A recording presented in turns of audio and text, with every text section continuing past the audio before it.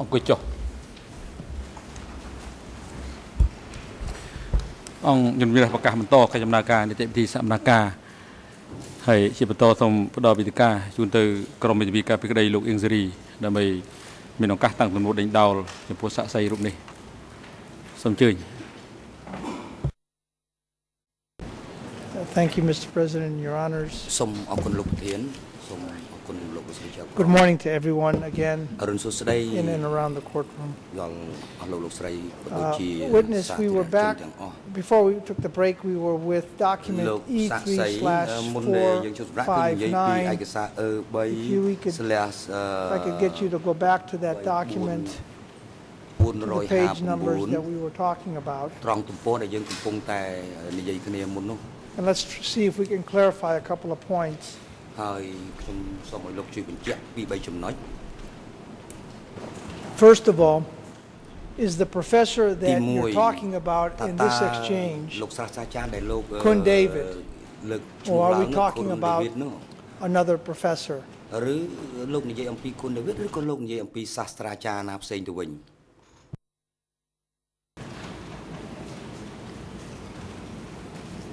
ខ្ញុំនិយាយពីខួនដាវីតនេះឯង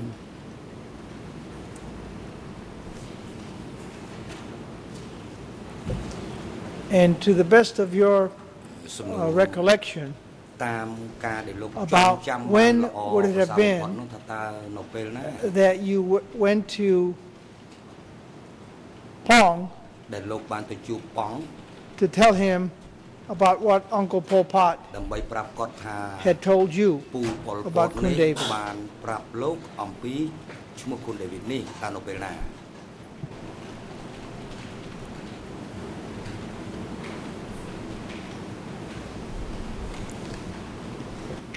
ពីឈ្មោះគុណដាវីតនេះតើនៅពេលណាពេលដែលខ្ញុំបាននិយាយ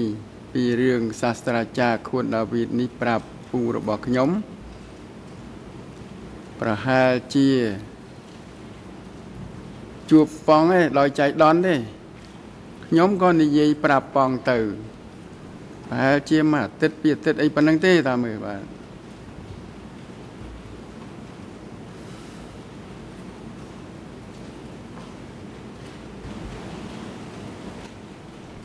Do you Some recall no. what month it would have តើ been? លោកនៅចាំបានទេ I know we're talking ប្រហែលជាក្នុង over ខែ30ណា years ago, but do you ខ្ញុំ recall ដឹងហើ the យថា month? វាជាង30ឆ្នាំមកហើយប៉ុន្តែលោកអាចនៅចាំខែបានទេក្នុងខែណាដែរខ្ញុំមិនចាំខែទេ ខ្ញុំអាចចាំបានថា ប្រហែលជាកន្លះខែមុនប៉ងបាត់ខ្លួន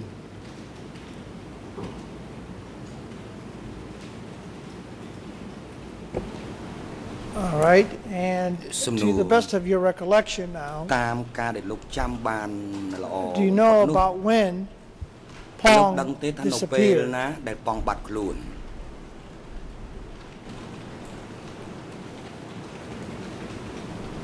ខ្ញុំមិនចាំពេលវេលានោះច្បាស់ទេខ្ញុំចាំថាវៀតណាមចូលមកចិត្តក្រុងភ្នំពេញមែនទែនហើយ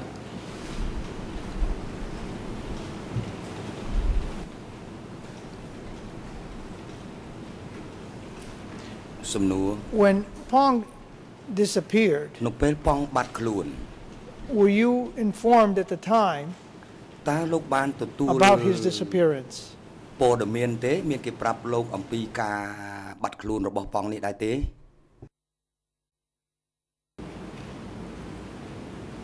ខ្ញុំអត់បានព័ត៌មានអីពីប៉ងបាត់ខ្លួនទេ ពេលនោះស្មុគស្មាញណាស់ មន្ទីរក្រសួងរបស់ខ្ញុំគិតតែគិតគូរតែរៀបចំអំពី ការត្រៀមរៀបចំជំលះ Was there some Some sort of a no. formal announcement តើនេះជាការប្រកាស Uh, ផ្លូវ that ការ Pong had disappeared? ឬយ៉ាងណាដែលការបាត់ខ្លួនរបស់ប៉ងគឺថាមានការប្រកាសជាផ្លូវការឬយ៉ាងណា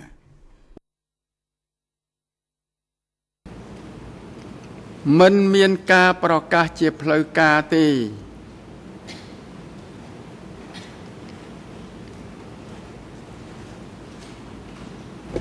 So how do you know he disappeared? សំណួរអញ្ចឹងមិនបានជាលោកដឹងថាគាត់បាត់ខ្លួន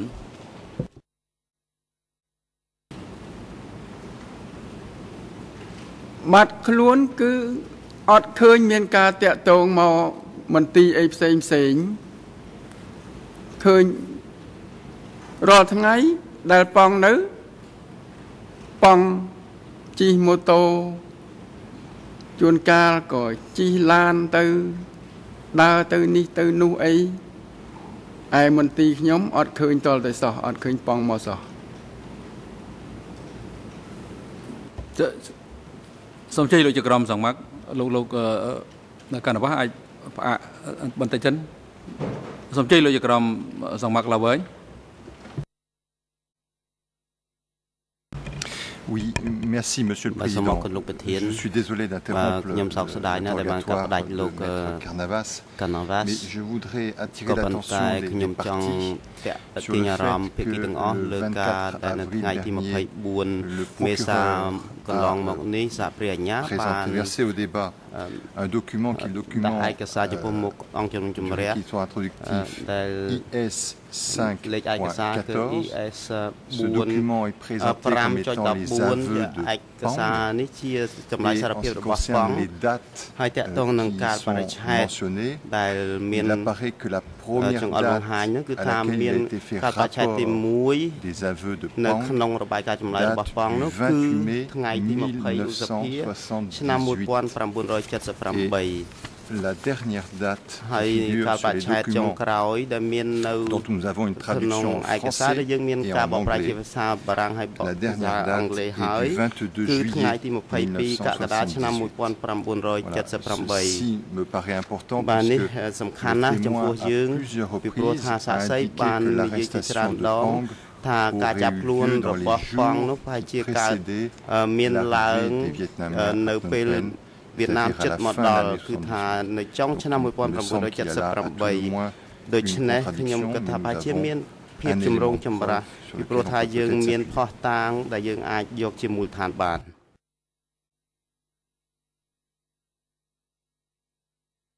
អរគុណលោកជាក្រុមសូមជ័យបន្តលោកមេធាវី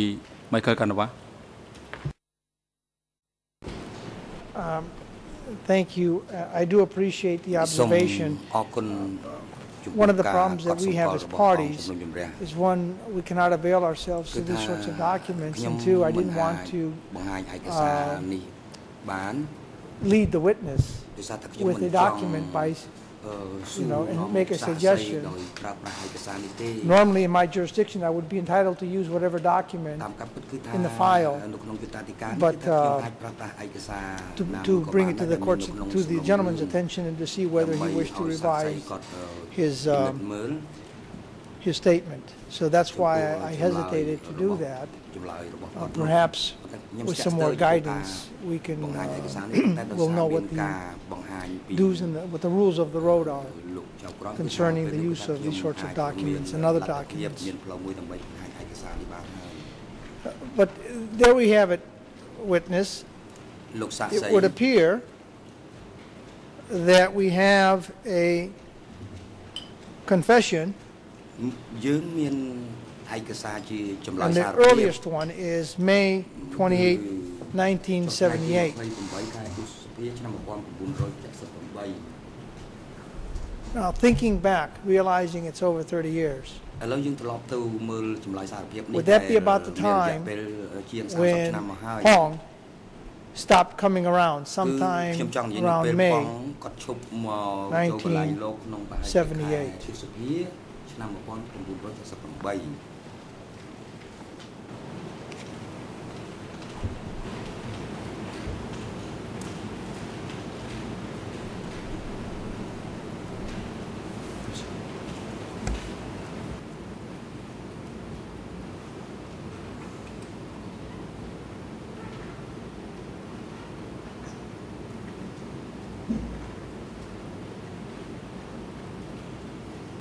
Let me ask the question again. We have just heard that there is a confession from Pong, who obviously was arrested, and the date of the confession of the first confession is May 28, 1978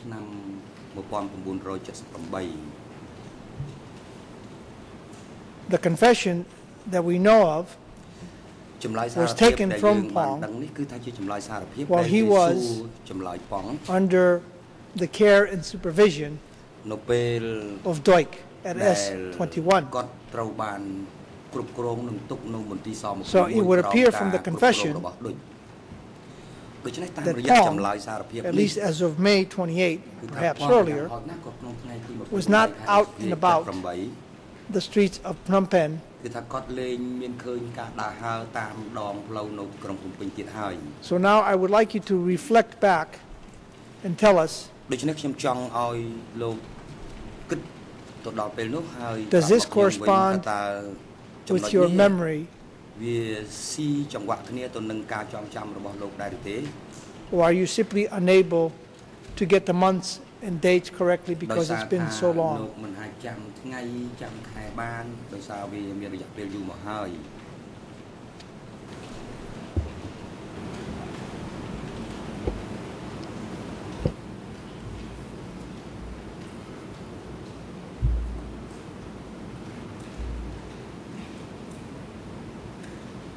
ខ្ញុំបានចងចាំថា ពេលដែលវៀតណាមចូលមកគឺខ្ញុំអត់បានឃើញប៉ង់តែប៉ុណ្ណោះបាទអីអីដែលគេសួរចម្លើយសួរអីណាចងចាំអីខ្ញុំអត់អីខ្ញុំអត់បានដឹងទេបាទខ្ញុំបានដឹងរួមរួមអញ្ចឹងល្មងគឺថាប៉ង់ដែលធ្លាប់គ្រប់គ្រងខ្ញុំហ្នឹងគឺថាអត់បានឃើញនៅពេលដែលវៀតណាមចិត្តចូលភ្នំពេញហើយបាទតែប៉ុណ្្នឹងបាទ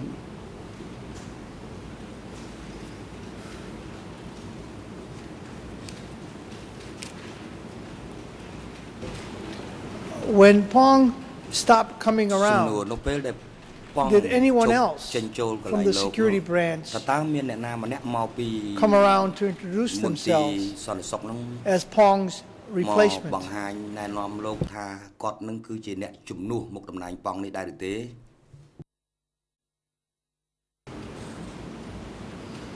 អត់មានទេមន្ទីរណាដោយថាមន្ទីរខ្ញុំឯងប្រាប់ថាម្ចាស់ការខ្លួនឯងទៅ រៀបរយបងប្អូនយ៉ាងម៉េចទៅណាទៅជាមួយគ្នាទាំងអស់គេប្រាប់តែប៉ុណ្្នឹងឯងគឺតាមរយៈ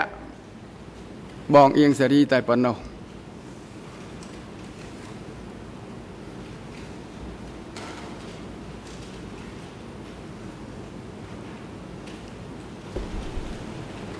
You told us over the Some course more. of several days អឺប៉ុន្មាន That ថ្ងៃ Pong ក្នុងសប្ would តាហ៍មុន come នោះគឺថា and លោក go. និយាយថាប៉ងចេញចូល Pong brought people ក to ន្លែ the ងលោក ministry. ប៉ងយក Pong មនុស្សមកទុក took នៅ people away ក្រសួង from the ការបរ ministry. ទេសហើយប៉ងក៏យកមនុស្សចេញពីក្រសួងការបរទេស And so now my question is, ដូច្នេះសំណួររបស់ខ្ញុំគឺ after Pong disappeared, ក្រោយពេលប៉ងបា did ត់ខ្លួន someone ទៅ else replace him ថា in តើ order មាន to bring មនុស្សណាម្នាក់ people មក to ជំ the នួស ministry មុខតំណែង and then ប៉ង take ដើម្បី them យក away មនុស្ស again មកផ្ញើ at នៅ some ក្រ other សួង point? ការបរទេសហើយនឹងយកមនុស្សចេញទៅពីក្រសួងការបរទេសវិញដែរឬទេខ្ញុំបានជម្រាបរួចហើយគឺអត់ទេ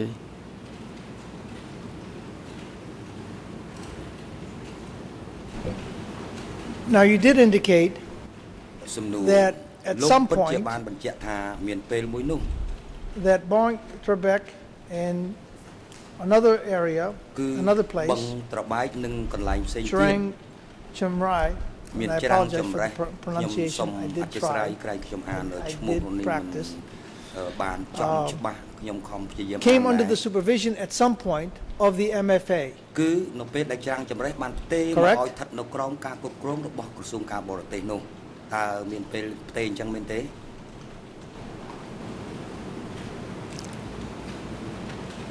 បាទមានពេលផ្ទេរ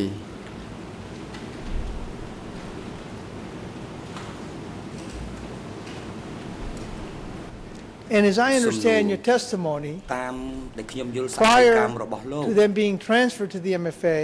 មុននឹង they were under the supervision of ច្រាំង Pong. ចម្រេះត្រូវផ្ទេរមកឲ្យ Is that correct? ក្រមក្រសួងការបរទេសគឺកន្លែងនោះស្ថិតនៅក្រោមការគ្រប់គ្រងរបស់ប៉ងមុននោះតើត្រឹមត្រូវទេ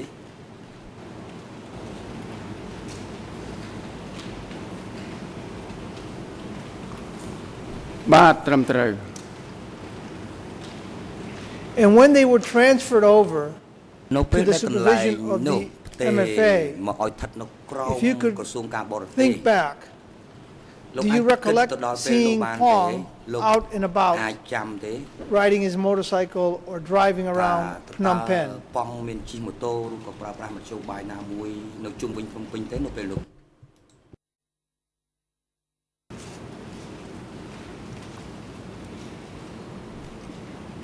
បាទមាន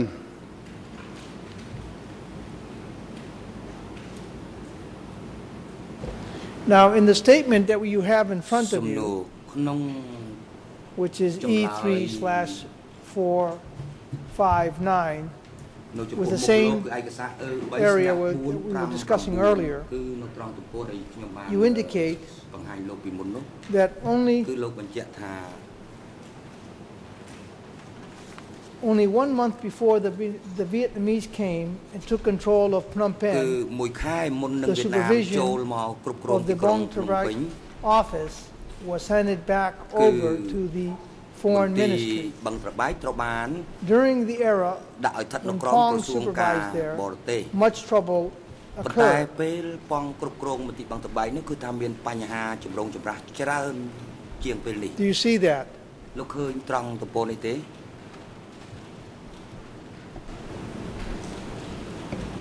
បាទខ្ញុំឃើញប៉ុន្តែមុនក្រសួងការបរទេសទៅកាន់កាប់បឹងតបែកនោះខ្ញុំមើលទៅប្រហែលជាមិនដល់មួយខែទេខ្ញុំថាពីរអាទិត្យអីហ្នឹងប្រហែលពីរអាទិត្យមិនដល់មួយខែទេបាទវាបថុចញុចណាស់ពេលនោះបាទ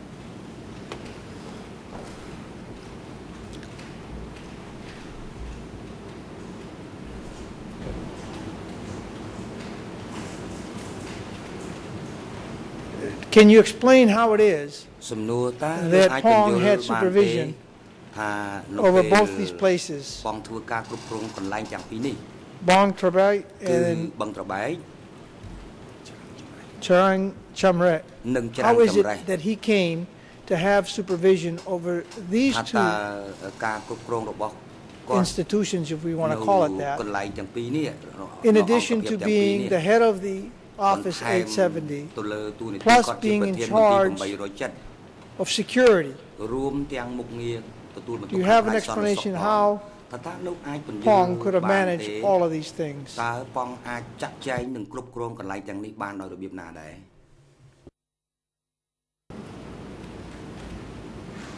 ខ្ញុំនិយាយសរុបទៅ គឺតាមចិត្តគាត់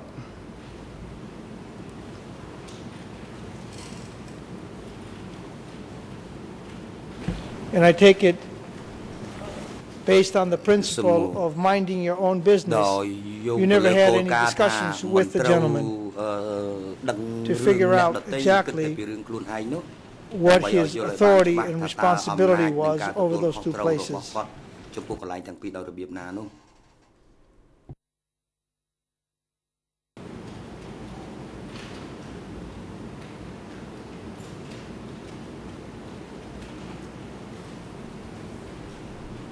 លែងទាំងពីរដោយរបៀបណានោះលោកវិទ្យាតាំងសំណួរ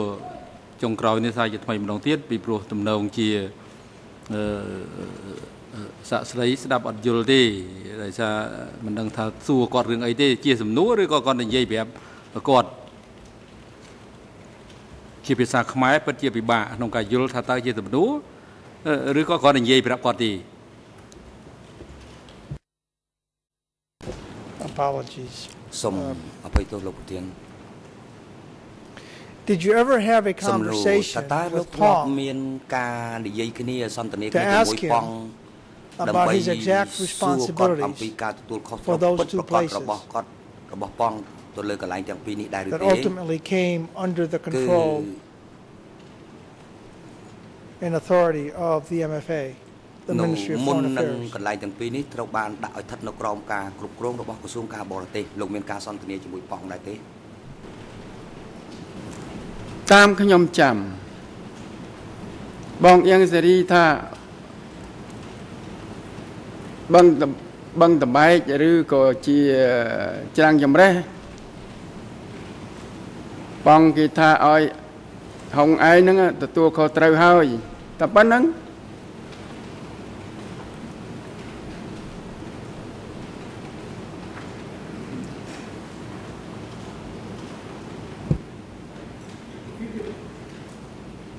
If you could listen to my question សំណួរ and answer my question. ខ្ញុំសូមឲ្យលោកស្ដាប់សំណួរ I'm របស់ asking ខ្ញុំ you, ហើយឆ្លើយមកសំណួរ did ខ្ញុំ you ខ្ញុំ ever សួរថា have a conversation តើលោកធ្លាប់មាន with ដែល your បាននិយាយគ្នា previous supervisor, ជាមួយនឹងអតីត Pong, មេរបស់លោកថ្នាក់លើរបស់ to លោក ask គឺ him ប៉ង់ what exactly his responsibilities ដើម្បី were? សួរប៉ង់ថាតើប៉ង់នឹងមានការទទួលខុសត្រូវពិតប្រាកដនឹងយ៉ាងណាដែរទេ បាទអត់ទេ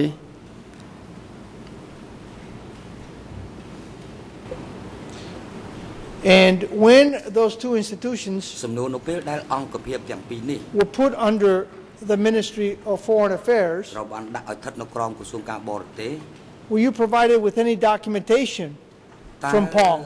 លោកមានបាន so ទទួល you ឯ could ក at សារ least see អ្វីពី what ប៉ង exactly ដែល he had ទេ been doing ដើម្បីមើល while ឲ្យ they បាន were ច្បាស់ under ថា his តើ control ប៉ងធ្វើអ្វីខ្លះចាត់ចែងកន្លែងទាំង and ពីរដោយរបៀប authorization ណាខ្លះនៅពេលដែលប៉ងមានសិទ្ធិអំណាចគ្រប់គ្រងកន្លែងទាំងពីរនេះ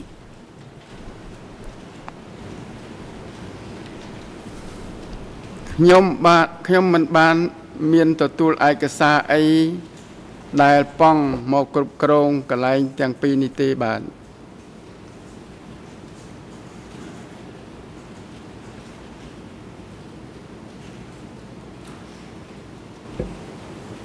All right, I'm going to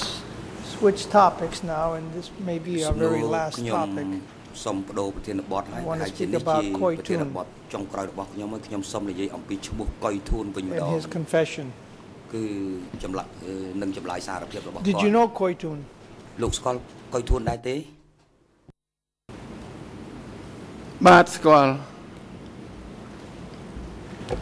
Did you know him prior to April លោកស្គាល់គាត់ 75? តាំងពីមុនថ្ងៃ17 1975មេសា that 75ដែរឬទេ 17មេសា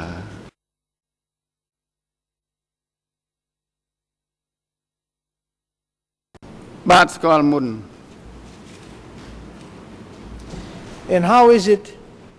នោះ that you got to meet តើ Koitun? លោកបានជួប In what capacity? កុយធួនដោយរបៀបណា លោកជួបក្នុងក្នុងមុខងារឬក៏សមត្ថកិច្ចរបស់លោកដោយរបៀបណាដែរ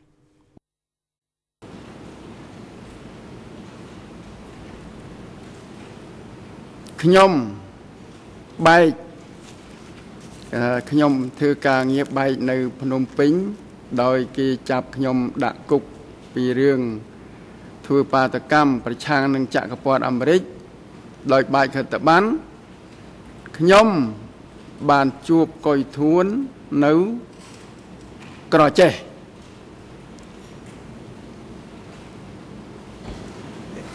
In, in what year was that? សំណួរក្នុងឆ្នាំណាដែរ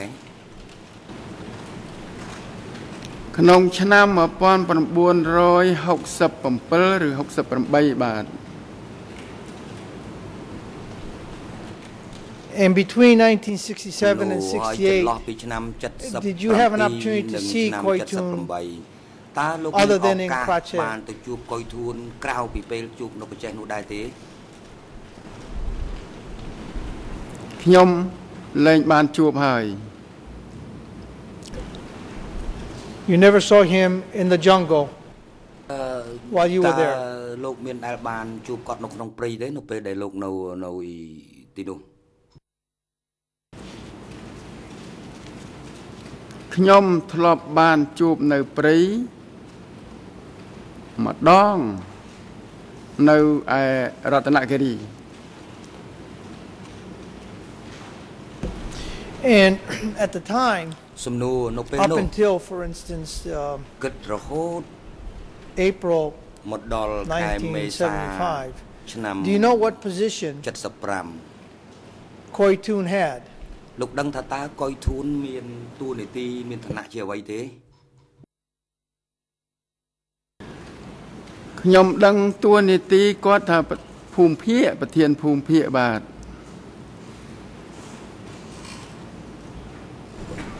Which zone? សំណួរភូមិភាគភូមិភាគណាដែរអឺភូមិភាគនៅមានកំពង់ធំកំពង់ចាម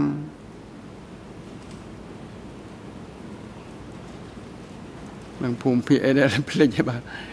នឹងគេហៅភូមិភាគអីទេបាទកំពង់ធំកំពង់ចាមសៀមរាបបាទអានោះមាន3ហ្នឹង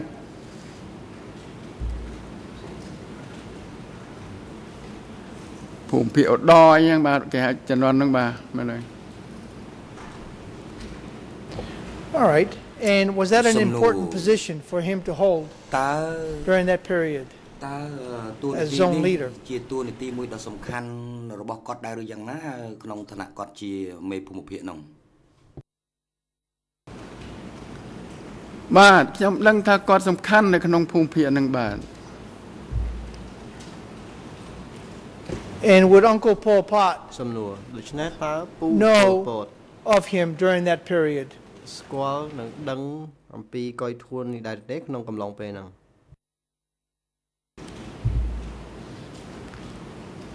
ខ្ញុំអត់បានដឹងថាស្គាល់របៀបម៉េចរបៀបម៉េចទេបាទអត់ដឹងទេ Now, after the fall of Phnom Some no. Penh in April ក្រោយភ្នំ 1975, ពេញបែក Do you នៅ know ថ្ងៃ what 17 position ខែមេសា or ឆ្នាំ positions 75 Koi តើ Toon លោក held? ដឹងថាកុយធួននោះ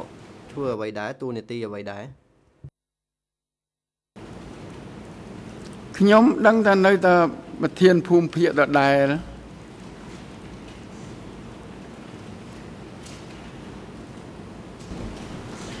Do you know whether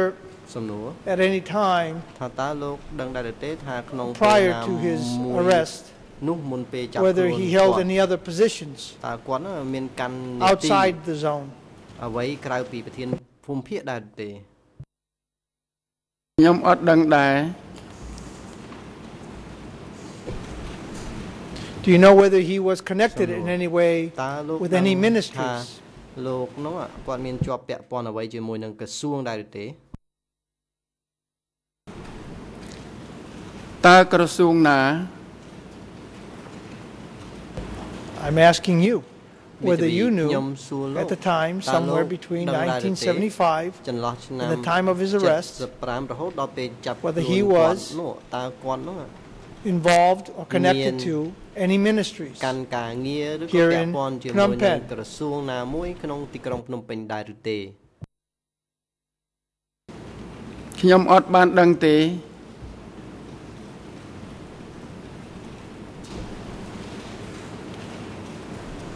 Do you know whether he was សំណួរ part of the center តើ or លោកដឹង central ថា office? គាត់ជាសមាជិកនៅក្នុងមន្ទីរមជ្ឈិមដែរឬទេ ខ្ញុំអត់បានដឹងទេ Do you know whether សំណួរ he was connected in តើ any លោក way ដឹងថាគាត់ to នោះ what has been referred to ជាប់តាក់ទង the ជាមួយ upper echelon? នឹងអ្វីដែលយើងហៅថាថ្នាក់លើដែរឬទេ ខ្ញុំអត់បានដឹងទេ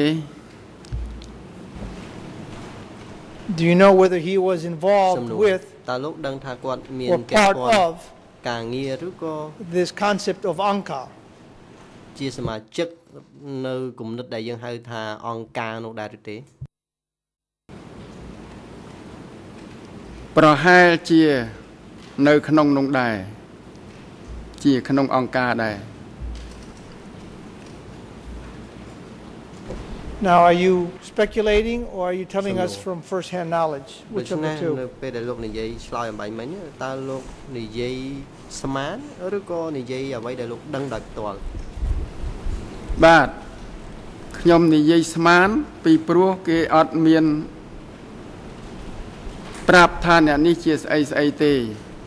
ប៉ុន្តែបើដឹងថាភូមិភាគគេប្រាប់ខ្ញុំណា ឋានៈឋានានុក្រមអីផ្សេងផ្សេងឲ្យគេទៅសេប្រាប់ខ្ញុំថានេះឈ្មោះនេះឈ្មោះនេះខ្ញុំអត់មានទេដូច្នេះភូមិភាគខ្ញុំដឹង ថាអ្នកនឹងទទួលខុសត្រូវភូមិភាគប៉ុណ្ណេះប៉ុណ្ណេះខ្ញុំដឹងដូច្នេះខ្ញុំដឹងថាជាក្នុងអង្គការធ្វើការក្នុងអង្គការដែរបាទ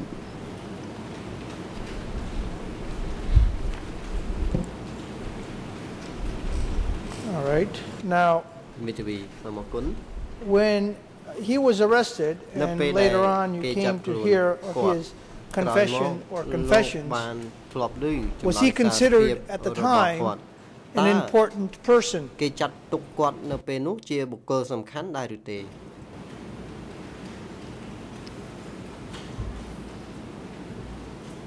ខ្ញុំបាន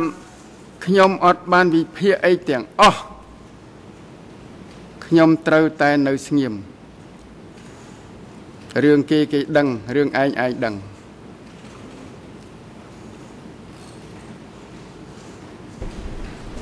Let me ask the question again. មេធាវីខ្ញុំសូមសួរសំណួរម្ដងទៀត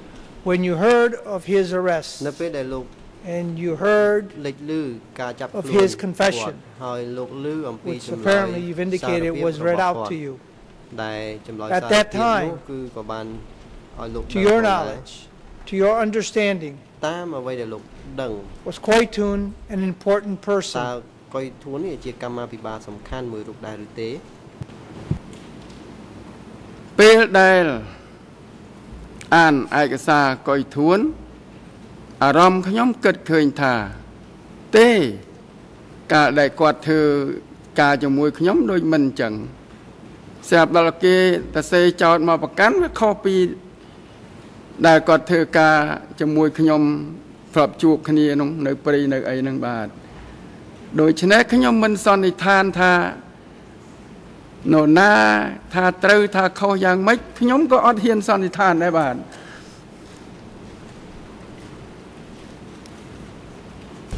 All right.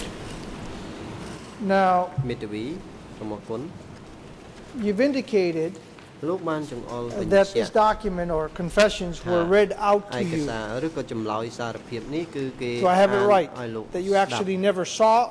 but it, but តើខ្ញុំ you និយាយ learned នេះ of ត្រឹ the មត្រូវដែរឬ content ទេលោកមិនដែលឃើញចម្លើយសារភាពនេះដោយផ្ទាល់ទេ from ប៉ុន្តែ somebody reading that លោក to you, the បានដឹង confessions. Is that ខ្លឹម correct? សារនៃចម្លើយសារភាពនោះដោយសារមានបុគ្គលណាម្នាក់គេអានឲ្យលោកស្ដាប់តើត្រូវដែរឬទេបាទត្រឹមត្រូវ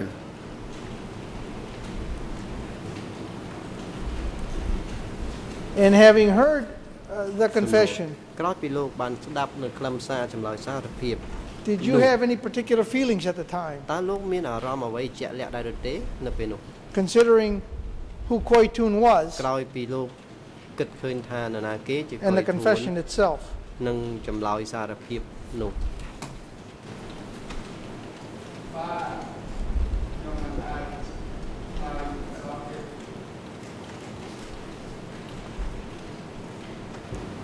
ខ្ញុំមិនអាចឆ្លើយម្ដងទៀតបានទេចម្លើយជាក់លាក់ដោយខ្ញុំបានថាប៉ុណ្ណឹងគឺខ្ញុំថាជាក់លាក់ហើយ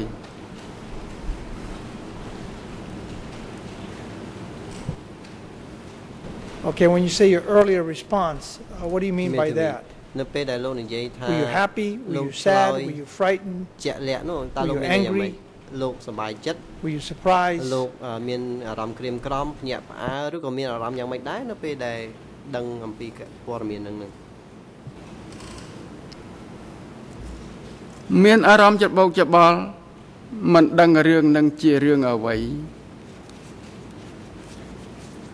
គិតមិនយល់គិតមិនលិចហេតុផលនេះមកពីណាមកពីណីស្មុកស្មាញក្នុងខ្លួន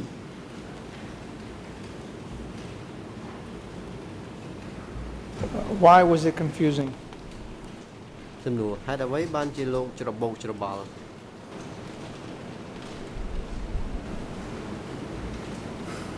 បានជាខ្ញុំច្របូកច្របល់ធ្វើការជាមួយខ្ញុំវាល្អឃើញថាល្អត្រឹមត្រូវទៅដល់គេចម្លើយមកវាថាមិនល្អវាផ្ទុយនឹងគំនិតខ្ញុំដែលឃើញគាត់ផ្ទាល់នោះដូច្នេះខ្ញុំច្របូកច្របល់ហើយពេលហ្នឹង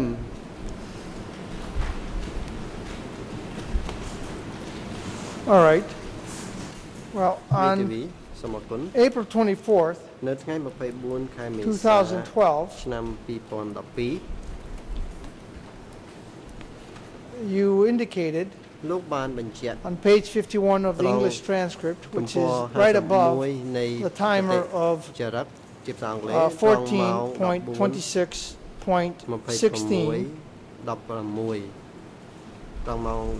14.26.16 after he read the confessions, លោកបាន both ឆ្លើយថា Mr. Ingshiri and ក្រោយ I, ពី as អាន well ចម្លើយ as សារភាព everyone, លោកអៀងសេរី became និងខ្ញុំរួមទាំង afraid. អ្នកផ្សេងផងដែរមានការភ័យខ្លាច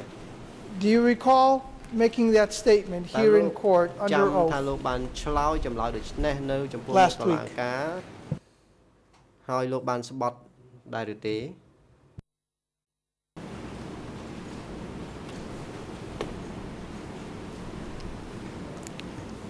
ខ្ញុំបានឆ្លើយប៉ុន្តែខ្ញុំមិនបានស្បត់ទេ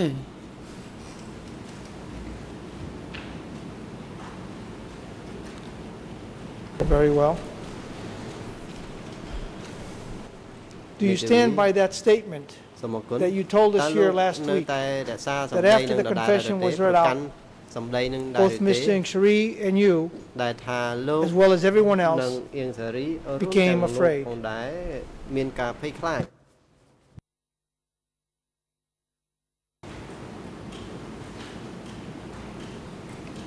ផងដែរមានការភ័យខ្លាច បាទ and why did you, at least, សំណួរហេតុអ្វី knowing បានជា your own feelings, លោក why did you ខ្លួនឯង become afraid, ខ្លាច having ជា heard មានការភ័យខ្លាចដូច្នេះ Koitun's confession? ក្រោយពីបានស្ដាប់ឮខ្លឹមសារចម្លើយសារភាពរបស់លោកកុយធួននោះ ខ្ញុំឆ្លើយម្ដងរួចទៅហើយខ្ញុំអត់ឆ្លើយតទៀតទេ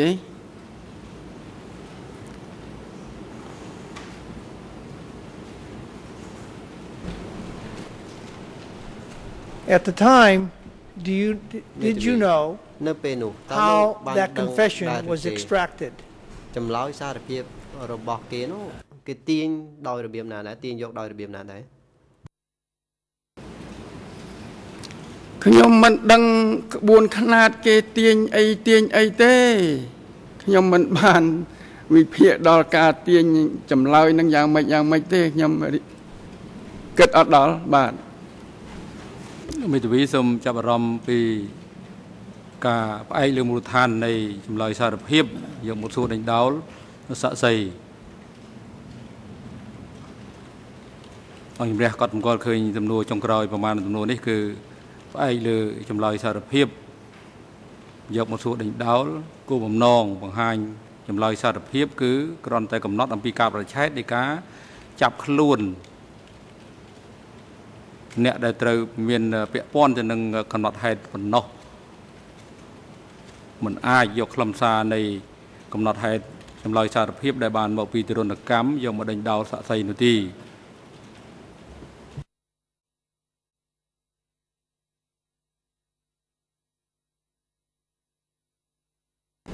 Uh, Thank you, Mr. President. I was merely asking the Maybe. gentleman សូម whether គោរព he knew ប្រធាន how the ខ្ញុំគ្រាន់ confession តែ was gotten. សួរលោកសាក់សី But ថា I- តើ I- គេ I ទាញ take the យក point. ចម្លើយសារភាពដោយរបៀបណានោះតែប៉ុណ្ណោះក៏ប៉ុន្តែខ្ញុំនឹងព្យាយាម Now, in ចូលទៅ one ដល់ of your ចំណុចនេះតែម្ដង statements, you indicated ចម្លើយ that you knew របស់លោកលោក that បាន Son បញ្ជាក់ Sen ថាលោកបានដឹងថាសុនសេន was, had taken charge of security. ទទួលបន្ទុកខាងផ្នែកសន្តិសុខ And this would be in E3 គឺសរសេរនៅក្នុងឯកសារលេខ E3 លើ Do you recall saying 415 that? តើលោកនឹកឃើញថាបានឆ្លើយអញ្ចឹងដែរឬទេ That Son Sen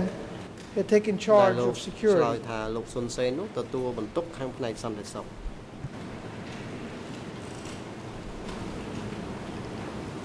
បាទខ្ញុំឆ្លើយចឹងបាទ And do you know today, Or can you Sir, no. recall back តើ then, លោក I អាច should say, នឹកឃើញឡើងវិញដែរឬទេ whether Son តាំង Sen ពី had ពេលនោះ anything មក to do ថាតើសុន with សេន either the arrest មានជាប់ពា or ក់ the ព័ន្ធ confession នឹងការចាប់ខ្លួន of Koi Tun? ឬក៏ការទាញយកចម្លើយសារភាពរបស់កុយធួនដែរឬទេបាទខ្ញុំអត់ដឹងទេបាទ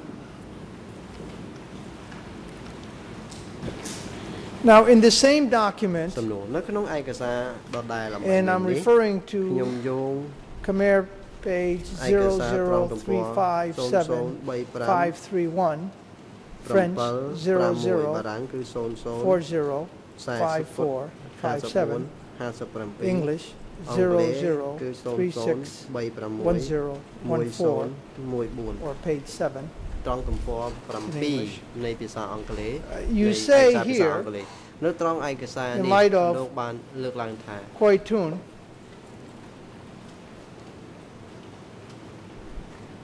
I knew too ពាក់ព័ន្ធទៅនឹង someone កុយ had ជួន sent to the Ministry of Foreign Affairs ខ្ញុំដឹង some ថា documents មានបុគ្គលម្នាក់បានបញ្ជូន which ឯ were កសារ kept មួយចំនួនទៅ by ក្រសួង Mr. ការបរ Sung ទេស Sukun. ដែលសុង But សុង when សុគន្ធ fleeing, ជាអ្នកកាន់កាប់ All were lost. ក៏ប៉ុន្តែឯកសារនោះបានបាត់អស់ហើយ According to my knowledge, តាមអ្វីដែលខ្ញុំ many ដឹង things were made up in these documents. ឯកសារខ្លឹមសារនៅក្នុងឯកសារនោះ I did not គឺប្រ read ឌិត the documents of Khoi Tun ខ្ញុំមិនបានឯក and សារ that ដឹង of មិនបានឯ Huinim កសារ personally, but Khoi someone Thun read for me. នឹងហ៊ូនឹមទេគឺ I មានបុគ្គល understood ម្នាក់ that អានឲ្យខ្ញុំស្ដាប់ For these ខ្ញុំយល់ឃើញ confessions, ថា I did ចម្លើយ not សារភាពនេះ believe ខ្ញុំ that មិន those ជឿថា people អ្នកទាំងនោះ had ធ្វើ done អញ្ចឹង such ទេ things. Have you found that passage, sir? តើលោកអឺឃើញចំណុចដែលខ្ញុំអាននេះដែរឬទេលោក បាទឃើញ Now, you mentioned Huinim. មេធាវីលោកបាន Did លើក you know ឡើង him? ឈ្មោះហ៊ូនឹម តើលោកស្គាល់គាត់ដែរឬទេបាទខ្ញុំធ្លាប់បានស្គាល់ And did you know his position at the សំ time? ណួរតើលោកដឹងនីតិរបស់គាត់នៅពេលនោះធ្វើអ្វីដែរខ្ញុំគ្រាន់តែដឹងថាគាត់នៅក្នុងរណសេរ When you say the front, are we talking about back សំ in ណួរ តើលោក uh, នៅពេលដែលលោកនិ nine- យាយ before 1975? អំពីរណសេរតើលោកសំដៅ Or are we លើរ speaking យៈកា about លមុនឆ្នាំ1975 to 79? Which of the two 75 periods? ឬក៏ក្នុងចន្លោះ75ដល់79តើរយៈកាលណាមួយដែរតាំងពី75ដល់79ខ្ញុំគិតថាគាត់ធ្វើការរណសេរបាទ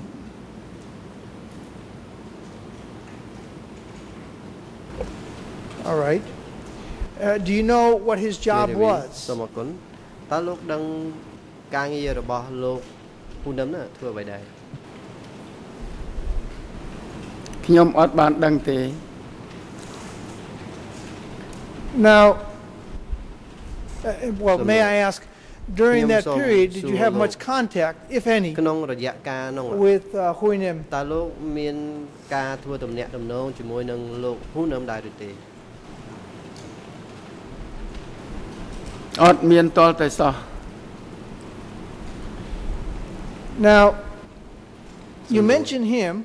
នៅពេល You នេះ mentioned លោក Huinim និយាយអំពីហ៊ូ along នឹម with Khoi Tun. រួមជាមួយ And នឹង so my កុយជួន question is, ខ្ញុំចង់សួរលោកថា do you know whether Huinim's confession តើលោកដឹងដែរឬទេថាចម្លើយសារភាពរបស់ហ៊ូនឹម was read out ក៏បានអានឲ្យលោកស្ដាប់ផងដែរ at the time? នៅពេលនោះ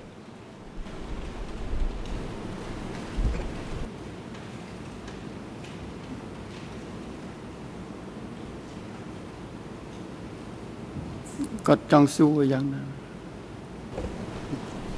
Okay. Uh, let me rephrase it. មេធាវីខ្ញុំសូមរៀបចំ You told សំណួរ us that Khoi ឡើងវិញ Tun's confession លោក was បាន read និ out. យាយថាចម្លើយសារភាពរបស់កុយធួនគឺគេ were បានអាន other ឲ្យលោកស្ដាប់ confessions read out ដូ as ច្នេះ well, តើចម្លើយសារភាព or របស់ was it កម្មាភិ merely បាលផ្សេងអ្នកផ្ Khoi សេងនោះ Tun's confessions បានអានឲ្យលោកស្ដាប់ដែរ that ឬ were ទេ read out? ឬក៏មានតែចម្លើយសារភាពរបស់កុយធួនតែប៉ុណ្ណោះដែលគេអានឲ្យលោកស្ដាប់ តាមខ្ញុំចាំដូចជាមានចម្លើយតែកុយធួនមួយ Do you recall សំណួរតើលោកនឹកឃើញ what was ដែរ in ឬ the ទេថា confession? មានអ្វីសរ What សេរ was ខ្លះ the accusations or what were the មាន crimes ការ that he ចោតប្រកាន់យ៉ាងម៉េ allegedly ច had ខ្លះ committed? ដែលគេចោតប្រកាន់អំពីការប្រព្រឹត្តបទល្មើសនៅក្នុងចម្លើយសារភាពនោះនោះ បាទខ្ញុំភ្លេចអស់ហើយ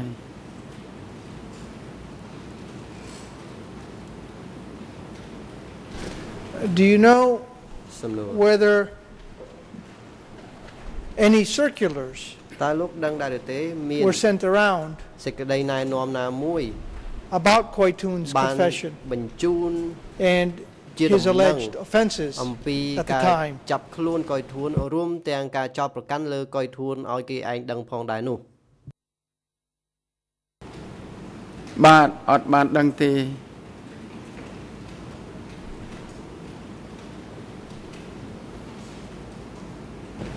Was Koitun's សំ confession ណួរតើចម្លើយ and សារ his ភាព crimes, របស់កុយ the ធួន alleged crimes និង that បទ he ល្ would មើស have committed, ដែលគេចោទប្រកាន់ទៅលើរូបគាត់នោះ was that widely publicized at the មាន time? ការផ្សព្វផ្សាយឲ្យ If គេ you ដឹងជា recall. ទូទៅ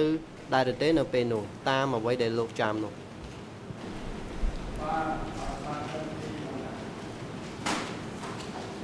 កុំអត់តន់ឆ្លើយចាំឆ្លើយនៅពេលដែលក្បាលមីក្រូដំណើរការ បាទអត់បានដឹងទេ But to the best of your recollection, សំណួរក៏ប៉ុន្តែ at least តាម in the Ministry of Foreign ការ Affairs ដែលលោក where you were ចាំល្អបំផុតនោះ involved, យ៉ាងហោចណាស់នៅ there ក្នុង was ការ a ងារក្រ discussion សួងការបរទេសនោះ គឺយើងឃើញ about ថាមានការ what he had confessed ពិ to ភាក្ doing. សាអំពី Is that right? ខ្លឹមសារដែលមាននៅចម្លើយសារភាពរបស់លោកកុយធួននោះតើអញ្ចឹងមែនដែរឬទេ បាទខ្លឹមសារបានស្ដាប់បានដោយខ្ញុំជម្រាបមិញអញ្ចឹង ឥឡូវហ្នឹងវាភ្លេចអស់ហើយ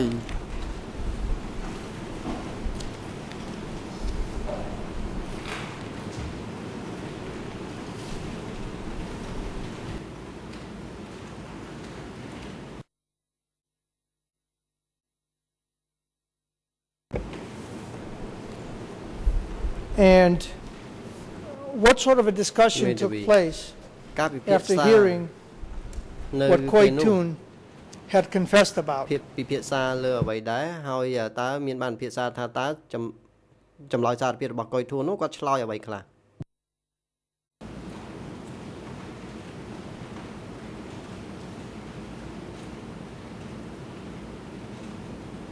ពេលនោះពេលនោះពិភាក្សាគ្នាហ្នឹងគឺថាដូចថា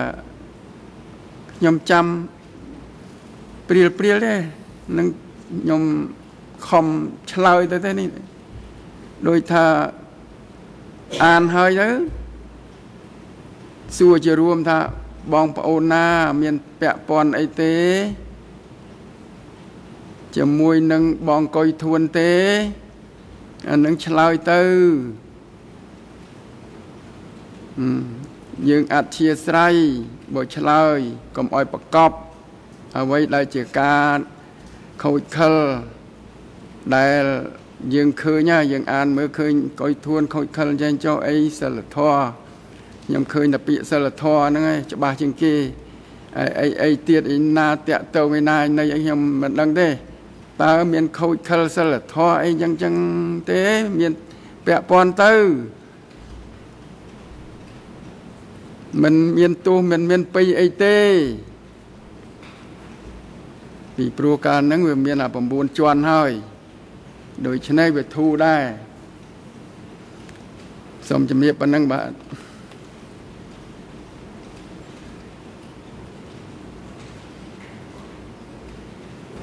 Now, having, having Wait a minute. raised the issue of morality, នៅពេលដែលគេលើក Do ឡើង you អំពី recall ការ whether ខូចខល Koi សិលធម៌ Toon តើលោកនឹកឃើញដែរឬ had ទេថា confessed តើកុយធួ to ន immoral acts បាននិយាយសារភាពអំពីការខូចខលសិលធម៌ដែរឬទេ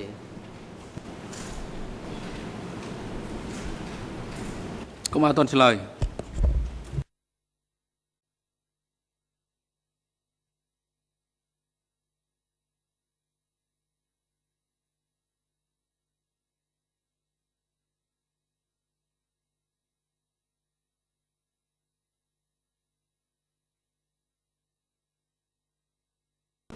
សាក់សីមិនបាច់ឆ្លើយតបនៅទំនួនហ្នឹងទេព្រោះទំនួននេះគឺពាក់ព័ន្ធយកដកស្រង់នៅខ្លឹមសារនៃចម្លើយសារភាពមកបដិដល់សាក់សីដែលច្បាប់ហាមឃាត់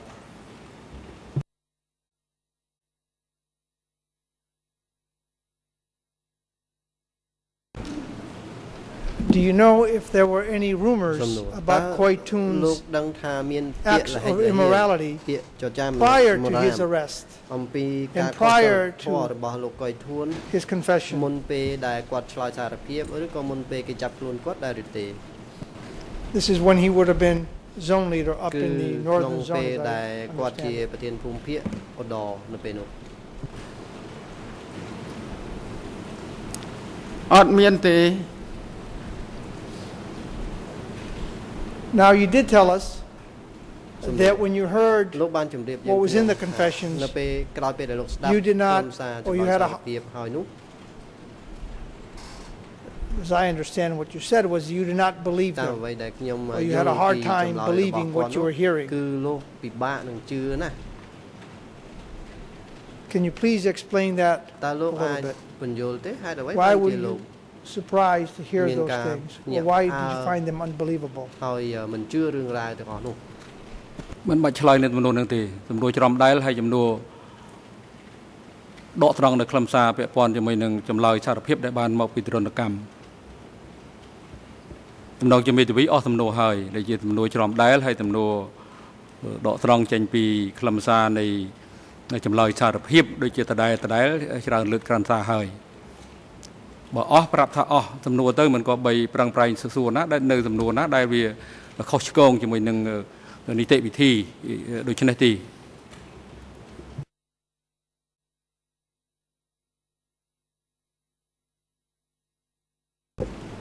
You told us about being afraid, Need to about be- being implicated. លោកនិយាយប្រាប់យើងខ្ញុំអំពីការភ័យខ្លាច Having ពីឆ្លើយដាក់ been- លោក exposed to this particular event ក្រោយពីលោកបានឃើញ where ដឹងហេតុ Koi ការ Toon's ណ៍ confession នេះបានន័យថា was នៅពេល discussed. ដែលគេយកខ្លឹមសារចម្លើយសារភាពរបស់កុយធួនយកមកជជែកពិភាក្សានោះ did that in any way តើ heighten ករណីនេះ your anxiety ធ្វើឲ្យលោក about being កាន់តែមាន implicated ការភ័យ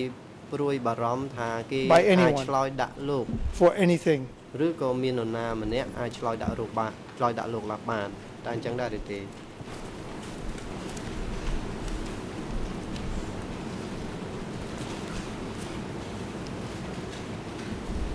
ខ្ញុំអាចនិយាយអញ្ចេះ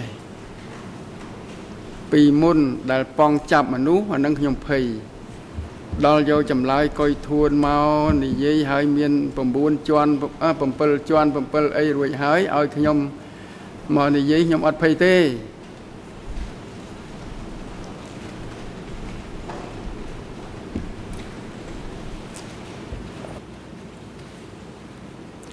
Thank you, sir. Uh, Thank you, Mr. President. Maybe Your honors, I have សូ no ម further គុណ questions. លោកសូមអរគុណលោក Uh, សាក់សី I សូម believe អរ that គុណ terminates លោក or ប្រ exhausts ធានលោកលោក my ស្រី uh, examination of this witness. ចៅក្រម Sir, ខ្ញុំអស់ thank you សំណួរ very, very much ហើយ on behalf of ខ្ញុំ Mr. មិន Sri មានអ្វី wish សួរ to ទៀត uh, ទេ express our លោក gratitude សាក់ for សី you coming here to give your សូមអរ evidence គុណលោកច្រើនសូមថ្លែងអំណរ and គុណ wish you លោកដែលបា safe ន travels.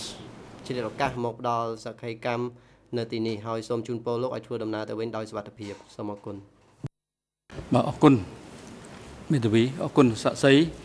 ឥឡូវនេះដល់ពេលត្រូវសម្រាប់ដើម្បីភាសាថ្ងៃត្រង់ហើយអង្គជំរះប្រកាសដល់សម្រាប់ចាប់ពីពេលនេះទៅទៅរហូតដល់ម៉ោង1:30នាទីសូមអញ្ជើញចូលវិញដើម្បីបន្តកិច្ចដំណើរការសកម្មភាពហើយមន្ត្រីរដ្ឋបាលតុលាការសូមសម្រួលកន្លែងសម្រាប់សម្រាប់ប្រសាស័យរូបនេះនៅក្នុងអំឡុងពេលសម្រាប់ភាសាថ្ងៃត្រង់ផងហើយឲ្យអញ្ជើញគាត់មកកាន់កន្លែងផ្ដោតសក្ខីកម្មនៅក្នុងបន្ទប់សកម្មភាពនេះវិញទាំងមេធាវីប្រឹក្សាផង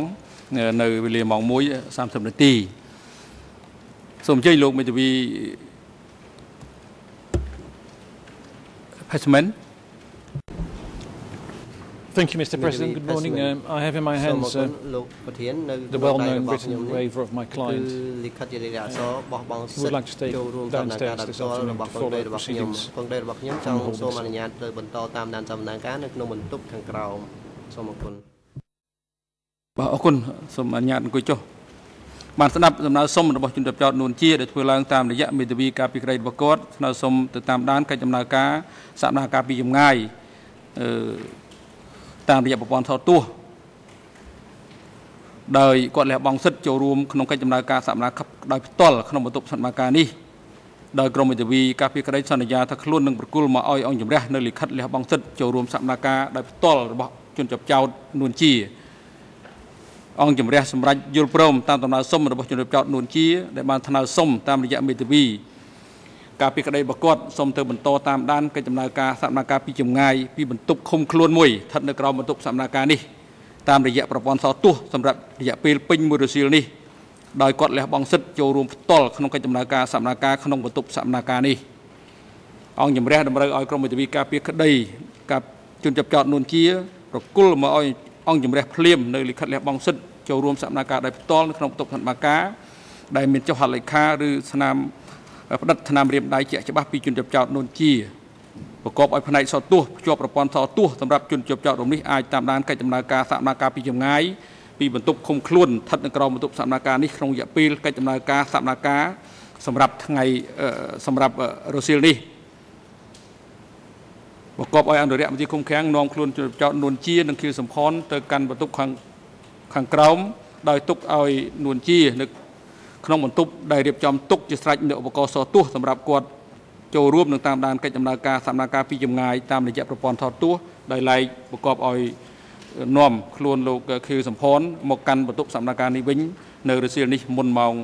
13:30នាទីសម្រាប់ចុះ សូមអញ្ជើញក្រោកចោល